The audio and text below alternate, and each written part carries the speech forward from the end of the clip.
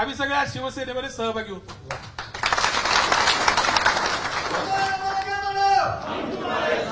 कालपासून भारतीय जनता पक्षाला माझी इतकी अचानकपणे आठवण आली की सन्माननीय प्रदेशाध्यक्षांपासून असंख्य लोकांचे मला फोन यायला लागले.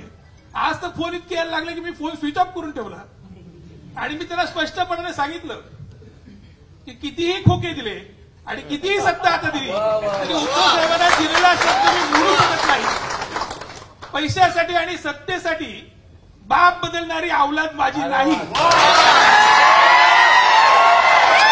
आणि म्हणून सन्मान्य उद्धव साहेबांना मी शब्द देतो.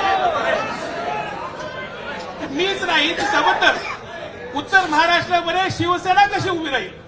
आणि हा शिवसेना महाराष्ट्रामध्ये पहिल्या क्रमांकाचा पक्ष आपल्याला कसा करता येईल? या दृष्टिकोनात आम्ही सगळेजण निश्चितपणानं काम करू आणि येणाऱ्या काळामध्ये महाराष्ट्राचं मुख्यमंत्री पदावर तुम्हाला बसवल्याच्या शिवाय हा कार्यकर्ता आता थांबणार नाही.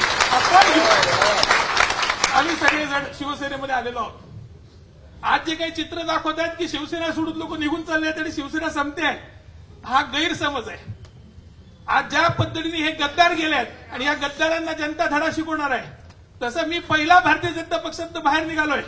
पण अजून एकोणपन्नास मतदारसंघातले भारतीय जनता पक्षाचे नेते थांबले आहेत की ज्यांची कुचंबना अशी होते. आणि ज्या दिवशी ह्या महाराष्ट्रामध्ये निवडणुका लागतील या एकोणपन्नास मतदारसंघामध्ये माझ्यासारखे लोक हे शिवसेनेमध्ये येताना तुम्हाला दिसतील. आणि पुन्हा एकदा पहिल्या क्रमांकाचा पक्ष शिवसेना झाल्याशिवाय राहणार नाही हा आत्मविश्वास व्यक्त करतो. सन्मान्य उद्धव साहेबांनी जो माझ्यावर विश्वास दाखवला सन्मान्य राऊत साहेबांनी जो विश्वास दाखवला त्याबद्दल मी त्यांचे ऋण व्यक्त करतो. आणि शिवसेना प्र- परिवारामध्ये आम्हाला सगळ्यांना सामावून घेतलं. तर निश्चितपणानं त्याबद्दल मी आपल्या सगळ्यांचे ऋण व्यक्त करतो. एकच गोष्ट मला स्पष्ट करायची आहे की सातत्याने जी टीका होते की मी खूप वेळा पक्षांतर केलं पण माझा नाईलाज होता साहेब. कारण माझा ज्या माणसाला राजकारणामध्ये विरोध आहे तो माणूस पक्षांतर करतो म्हणून मला पक्षांतर करावं लागतं. त्यांना त्यांना तुम्ही स्थिर राहायला सांगा मी कधी शिवसेना सुरू मी ते भारतीय जनता पक्षाच्या युतीतनं बाहेर पडले मी भारतीय जनता पक्षाबरोबर गेलो. ते परत भारतीय जनता पक्षाबरोबर आले मी काँग्रेस बरोबर गेलो. ते पुन्हा काँग्रेस बरोबर आले मी पुन्हा भारतीय जनता पक्षाबरोबर गेलो. ते पुन्हा भारतीय जनता पक्षाबरोबर आले आता मी तुमच्या बरोबर आलो. आता पुन्हा त्यांना इथं येऊ देऊ नका. म्हणजे आम्हाला कुठेही जाण्याची आवश्यकता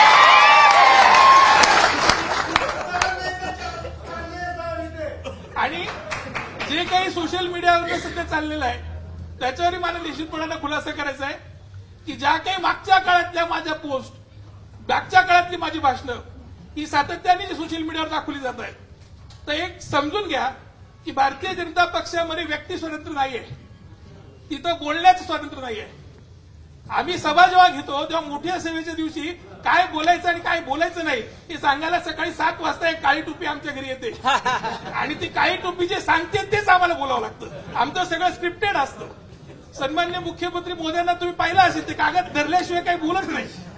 आणि इथं सगळं स्क्रिप्टेड असतं. आम्ही सोशल मीडियावर काय टाकायचं? हे सुद्धा त्यांच्याकडनं आलेलं कंटेंट असतं. फक्त बळी कोणाचा घ्यायचा आणि टाकायला कोणाला लावायचं इतकंच त्यांच्या हातात असतं. आता आपले विरोधक त्या ठिकाणी गेलेले आहेत. थोड्या दिवसात त्यांचेही लक्ष येईल की त्यांची भाषणं आणि त्यांच्या पोस्ट सुद्धा कशा कंट्रोल होतात. त्यामुळे जे जे काही झालेलं आहे ते सगळे वक्तव्य ही भारतीय जनता पक्षाची होती. त्यातलं एकही वक्तव्य माझं नव्हतं. हे स्पष्टपणानं या ठिकाणी खुलासा करतो आणि आपली सगळ्यांची रजा घेतो. जय हिंद जय महाराष्ट्र.